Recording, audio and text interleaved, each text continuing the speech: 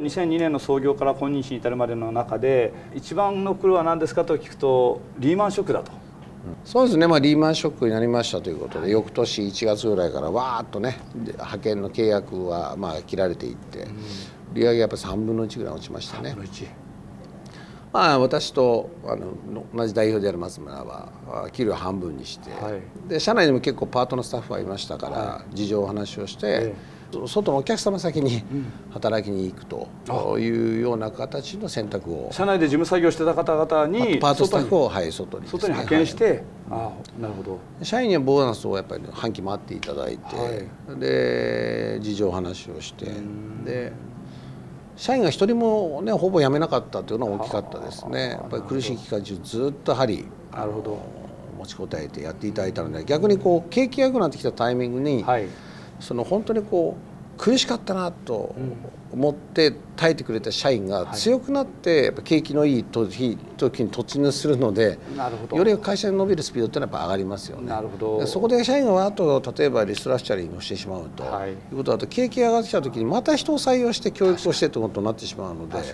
どっか必ず景気の回復が来るんですよね。はい、そのためにもやっぱりこう耐えなければいけないのは、やっぱり社員をいかに切らないと。切らないか。いうことはすごく重要だなということも学びました。なるほど。で皆さんみんな残っていただいたこともね、はい、まあ、とても感謝をしていますし。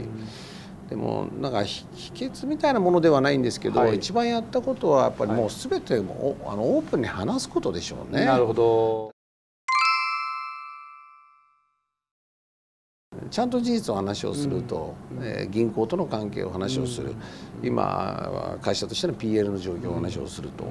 うん、いうようなことででまた未来に対してこういう事実を作っていくと、うん、そのためにこういう行動をするから、はい、えー、みんな耐えててくれと、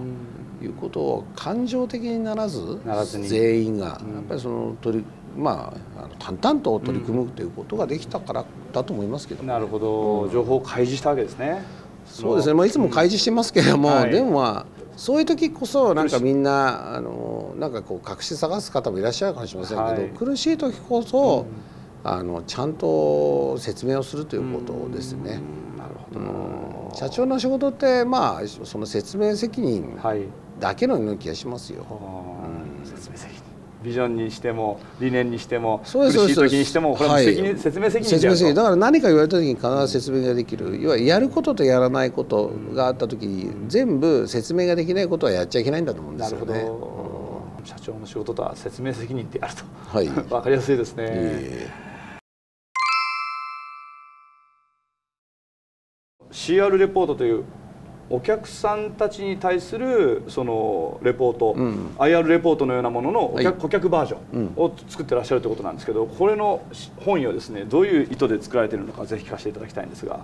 まあ、上場企業さんだったりすると、はい、まあ、そのインベスターの方に対してね、うん、IR 必ずやられると思うんですよね。はい、で IR 資料を見るとね、まあ、立派によく作ってあるんです。うんで、まあ、当然その株主としてね、はい、出資してほしいですし、はい、株価投資人を増やしたいと、うん、株買う方を幸せにしたいっていう方法って一番はもうお客さんにとにかくご指示いただいてね、はい、でっていうことをやらない限りそのいわゆるインベスターの方に対してリターンできないじゃないですか。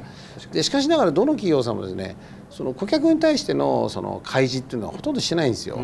私は逆なんじゃないかなと思ってましてね日々日々。インベスターの前に顧客ではないそうなんです、はいはい、インベスターを幸せにするために顧客、うん、我々はだからどちらかというと、まあ、株主はねあの外部から集めるような体制を取ってませんから、うん、あのお客様自身に、が本当株主として、はい、今日々お仕事をいただいて、はい、でそれをきちんとリターンしていくと、うん、サービスをリターンしていくと、うん、でも100人100人お客さんまだまだ満足しているようなサービス状態じゃないでしょうから、うん、必ず顧客満足度調査をさせていただいて、はい、でその満足度調査に対するフィードバック。来年度はこんなふうに改善しますよなんていうことも踏まえた中でね必ずあの1年に1回レポートを発行させていただいては、はい、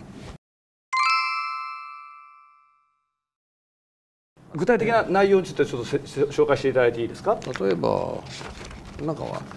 満足度調査の結果、ね、顧客満足度調査の2015年の結果、はいね。はい、結果発表。で良いお言葉いただいたものと、改善はこんなふうにしますよみたいなものもありますし今回は新会社を作りましたから、はい、えー、その新会社自身は女性管理職を増やすという新会社なので、はい。それに対するそのどんな考え方その背景ですね。背景。背景と企業さん自身がこれから目指すべき方向性について。なるほど。あなぜ女性管理職を増やす必要があるのか。そうなんですよそうなんですよ。日本で女性管理職が増えない理由。はい。わけ、えー女性管理職を増やすのに27歳女性にフォーカスすべきわけ、みたいないわゆる事業の背景がここに書かれてるわけそうですすそうですそうです、はい。これとしては考え方なんですよねだからね、はい。あとはもうそれに B スタイルが作る、はい。これから目指すべき方向、なるほど。これ一緒に作っていきませんか？ということを書いてますね。メッセージなんですねあとは採用の裏技ですね。はい。採用の裏技、派遣なんかでいうと結構法律が変化はしますので、はい。今の変化こんな風になりそうですよみたいなこともありますし、あとは採用の戦略ですね、はい。こんな風な採用のやり方した方がいいですよということで、まあ、人事の方はお客さん多いですから、はい。そのいわゆる一つのこうあの知識勉強の一つにしていただければというなるほことでど。最後はまあ B スタイルのトピックスですね。はいこれを年に一度発行されてらっしゃるわけですね。感謝の念を込めてねなるほど。やらせていただいてますね。いわゆる上場企業の IR レポートに代わる CR レポートそうそうそうそうです。そういうことですね。